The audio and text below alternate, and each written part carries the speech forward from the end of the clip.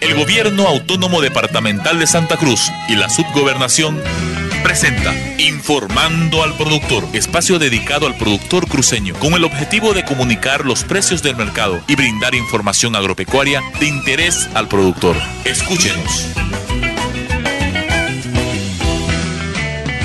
Amigos, bienvenidos a Informando al Productor, espacio apoyado por el Gobierno Autónomo Departamental de Santa Cruz. Y bueno, pues comentarles que nosotros tenemos la página web www.sixsantacruz.com. En ella encontrará la información agropecuaria y información agrometeorológica. Son cuatro, son dos estaciones en realidad que están colgadas en diferentes provincias de Santa Cruz, pero cuatro están colgadas en nuestro sistema de información todas las mañanas. A partir de las nueve de la mañana nosotros podemos escuchar esta información y además a través de los telecentros podemos ver esta información en nuestra plataforma web www.sixsantacruz.com. Hoy hablaremos de los 14, este 14 de febrero, el CIAT, eh, un brazo operativo de la Gobernación de Santa Cruz, está cumpliendo 40 años y es por ello que hemos invitado a un ingeniero del CIAT, es el señor Gregorio Lozada. Silvetti es ingeniero agrónomo y él está trabajando hace 17 años en la institución. Hoy nos va a hablar sobre la agro, la agricultura familiar y le damos pues la bienvenida, ingeniero. ¿Cómo está usted? Bueno, muy buenas tardes y gracias por la invitación para esta entrevista. Inge, ¿por qué es importante la agricultura familiar? Primeramente, la agricultura familiar es la que produce entre el 60 al 70% de todas las frutas y hortalizas que consumimos a nivel departamental, se produce con la agricultura familiar. Asimismo, la agricultura familiar, contribuye a un uso racional de los recursos naturales. También podríamos decir de que protege la biodiversidad agrícola, manteniendo el germoplasma nativo, podríamos decir, en cuanto a semillas, por, ejemplo. Mediante la agricultura familiar podemos generar mano de obra familiar, que es uno de las principales, uno de los principales objetivos, podríamos decir, con la agricultura familiar, genera mano de obra, inclusive podría adquirir otra mano de obra adicional. En sí, la agricultura familiar, como le dije, la importancia es más que todo de que la producción que actualmente está realizando, que lo que consumimos, es gracias a la producción de la agricultura familiar. Inge, ¿qué es germoplasma? Es en sí todo lo que el material genético, todas las semillas que en realidad que maneja el productor, tanto de maíz, depende de la zona donde está trabajando.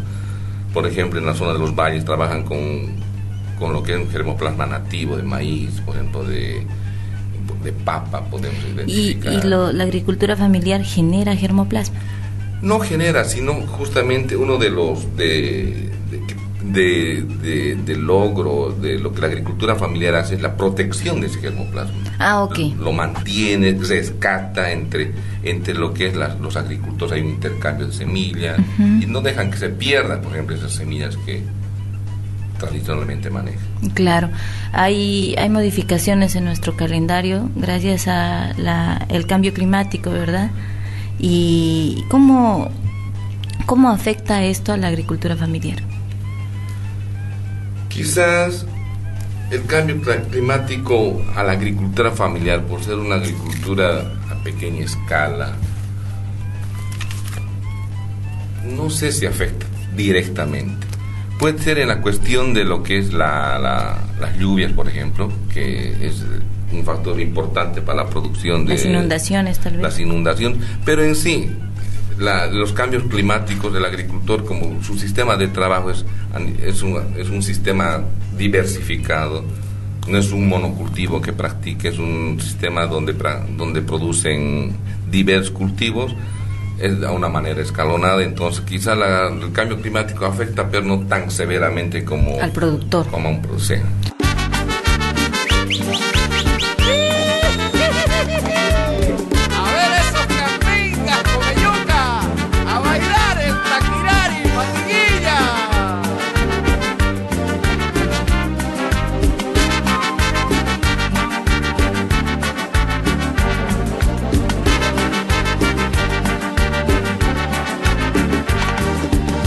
Vamos a bailar la viborilla, que es el ritmo más alegre de la música oriental. Es un taquirari bien movido que bailan los fatiguillas cuando llega el carnaval.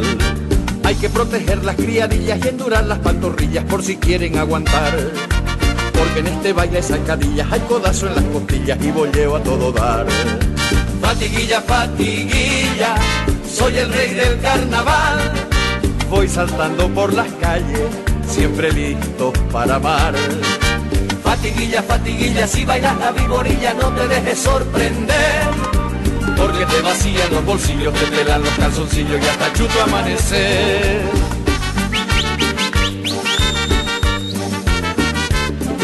Ay, ay, ay, mamacinga, venga con su fatiguilla.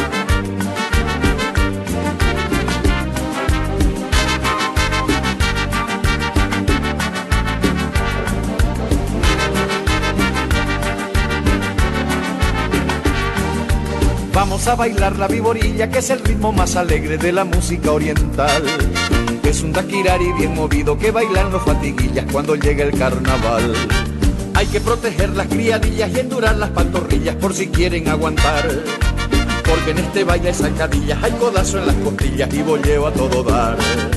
Fatiguilla, fatiguilla, soy el rey del carnaval. Voy saltando por las calles, siempre listo para amar. Fatiguilla, fatiguilla, si bailas la viborilla no te dejes sorprender. Porque te vacían los bolsillos, te pelan los calzoncillos y hasta chuto amanecer.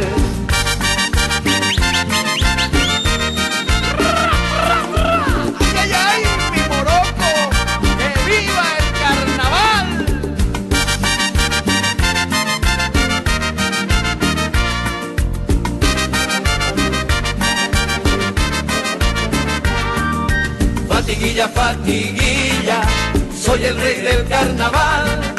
Voy saltando por las calles, siempre listo para amar. Fatiguilla, fatiguilla, si bailas la viborilla no te dejes sorprender.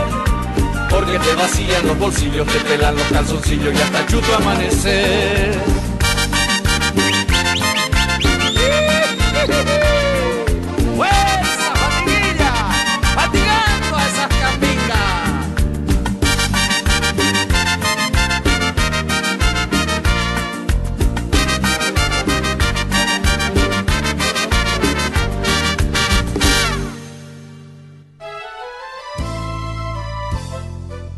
Toda esta información de precios del mercado llega a usted gracias al Gobierno Autónomo Departamental de Santa Cruz y sus subgobernaciones en beneficio del productor cruceño. Mi tierra tiene el verde de las pampas y el cañaveral. Amigos, qué linda canción la que acabamos de escuchar, lo que dicen informando al productor. Nosotros, gracias a Radio Santa Cruz, llegamos a todo el oriente boliviano, no solo a las 15 provincias de Santa Cruz. Y bueno, la gobernación está trabajando. ¿Cómo está observando este, este proyecto eh, la gobernación? Me decía que es integral. Explíquenos. Bueno, actualmente estamos ejecutando, el, el- inició el proyecto el año 2014 lo del- sobre la agricultura familiar, donde tenemos a 11 municipios beneficiarios del departamento. En sí, que el proyecto consta de, tres componentes principales. Uno lo que es el material genético, otro lo que es la parte de la producción y de plantines de frutales, hacemos parte de lo que es de investigación y validación y lo que es transferencia de tecnología.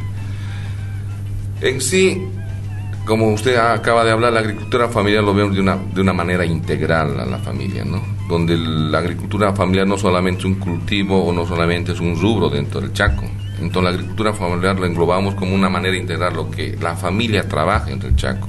Ahí vemos lo que es la parte bosque, lo se ve la parte lo- agrícola, la parte pecuaria, donde lo manejamos de una manera in- integral. Y con este proyecto, ¿qué hacemos?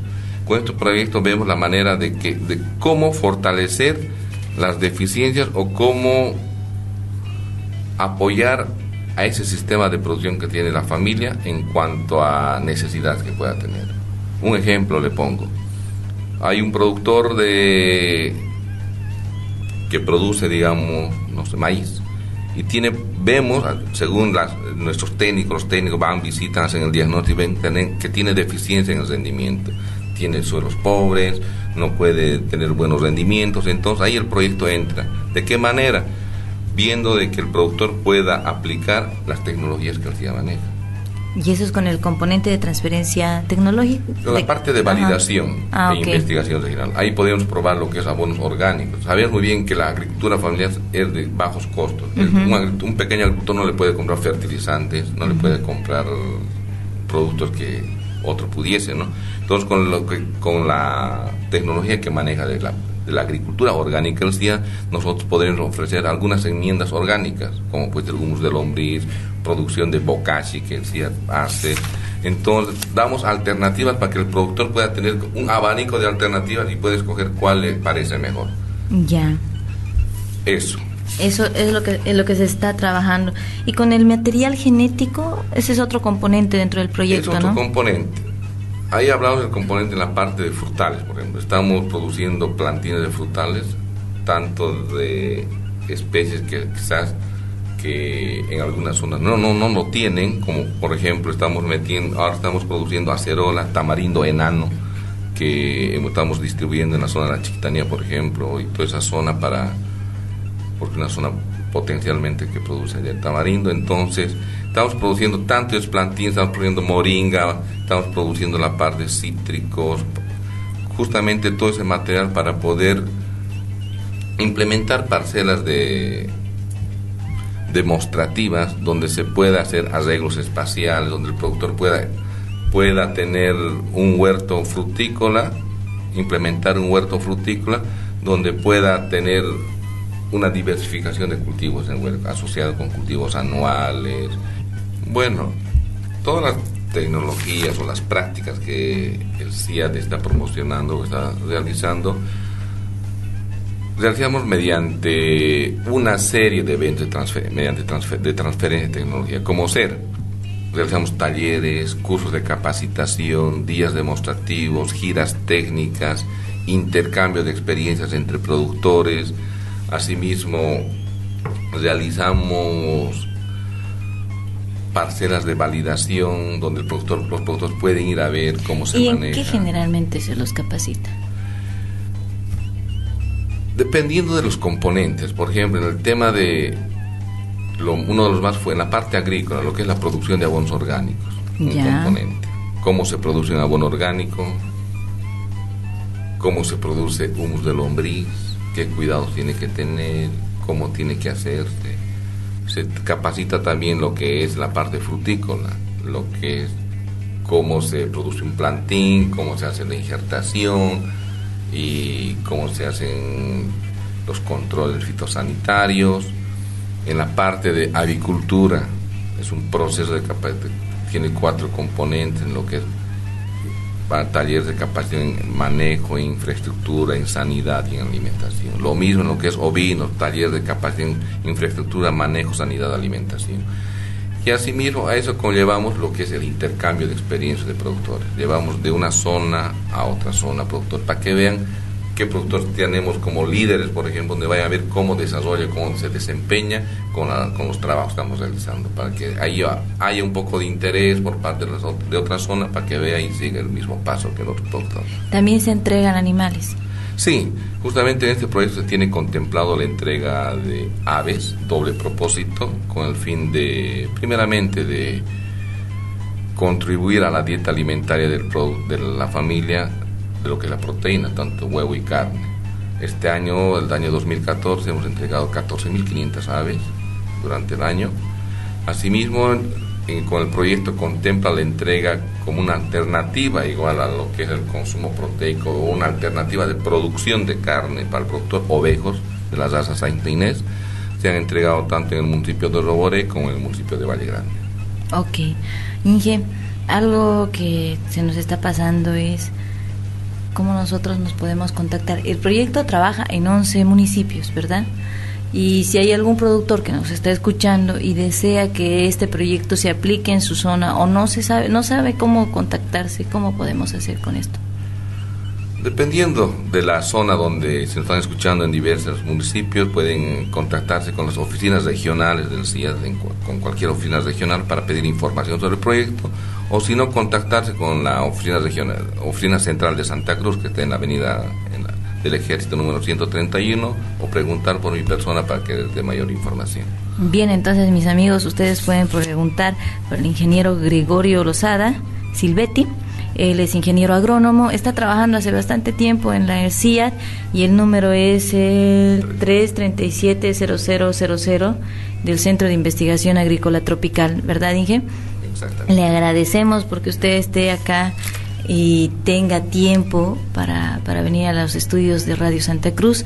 Y bueno, esperemos que, que les interese y les sirva esta información para este 2015. Ingeniero, ¿algún último consejo que les diera a las personas que nos están escuchando? No, nada, seguir trabajando, que cualquier duda o cualquier emergencia, no emergencia, cualquier, ah, cualquier problema que tengan, dirigirse a las oficinas regionales del CIA, donde nos encontramos, para que nosotros podamos apoyarles y colaborarles en lo que se pueda. Ya, gracias. Bueno, pues amigos, nosotros nos reencontramos mañana.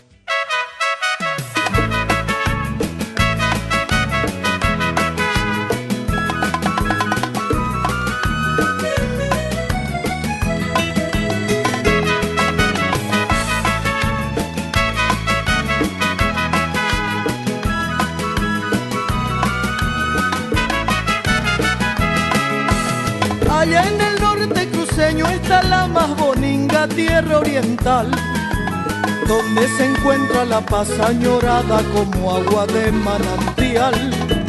Donde se encuentra la paz añorada como agua de manantial.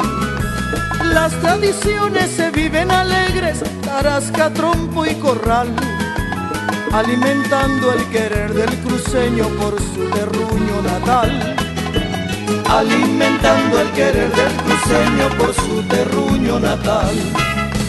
Buena vista, tierra de esplendor, de amaneceres sin igual, la luna en la noche me dará alegría y luz para enamorar, en su florete me encontrarás la preciosa flor del patujú, y para disfrutar del bello sol, el mágico río Surutú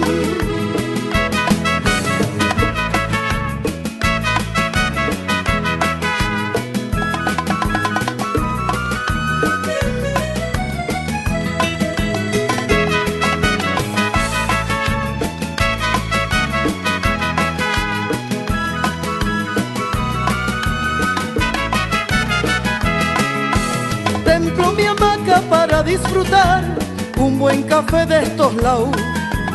Pa' mí este pueblo, señores, querencia que siempre había imaginado. Pa' mí este pueblo, señores, querencia que siempre había imaginado. La luna siempre me invita a cantar versos cargados de emoción.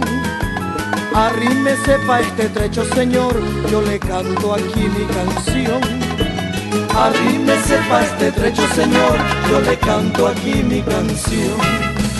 Buena vista, tierra de esplendor, y de amaneceres sin igual, la luna en la noche me dará alegría y luz para enamorar.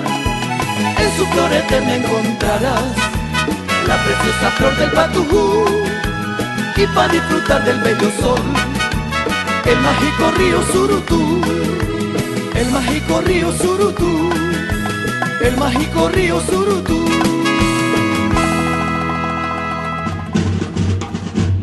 Ingresa a nuestra biblioteca agropecuaria en el portal web www.sigsantacruz.com. En ella encontrarás libros digitales de descarga gratuita para tu beneficio. Informando al productor Sintonícenos en los horarios de lunes a viernes de 9 a 9 y 15 de la mañana y por la tarde de 16.40 a 17 y 5. Los días sábados de 6 y 15 a 6 y 30 de la mañana y por la tarde de 17 a 17.15.